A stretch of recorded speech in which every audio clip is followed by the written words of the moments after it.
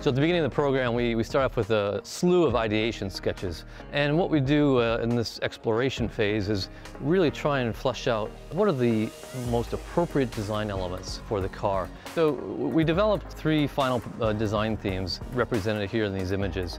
Ultimately, we went here with, uh, with theme A, as this really represented perhaps more the, the, the brutal side of, of, the three design themes. But, but there were elements of some of the other themes that really influenced the, the final design.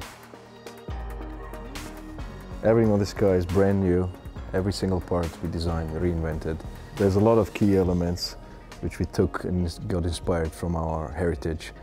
And there's a, certainly a bloodline running through the entire car. We talk about this punching out quality, this, this fist breaking through glass or punching through the wind.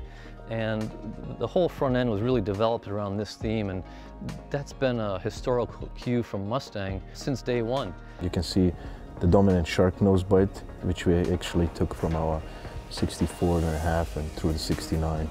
You can see our headlights came much more forward, so I have this um, forward-facing look, and our nose is very proud.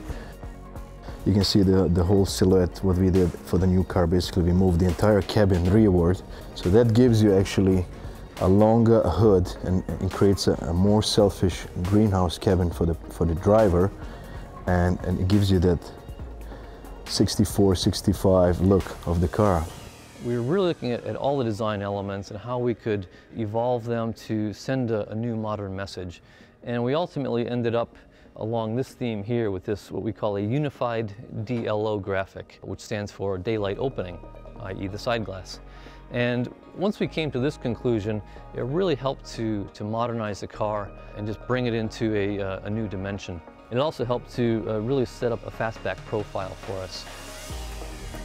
We made the rear track wider, pulled the haunch rear outboard, and, and, and then we made the backlight narrower so in order to achieve that really wide fender, which gives you that muscle car look.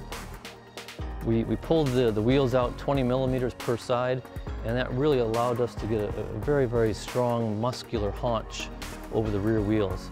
What we also said, we want to have a three-dimensional quality on this car. If you look at all the surfacing through the decklid, it's, it's very three-dimensional. It's very unique. And I think the taillights, we took a next step. We got inspired by 69 cars, but we did it in a very modern way. You'll be able to identify this car from miles down the road just with those tri-bar tail lamps uh, illuminated at night. And it's unmistakable Mustang.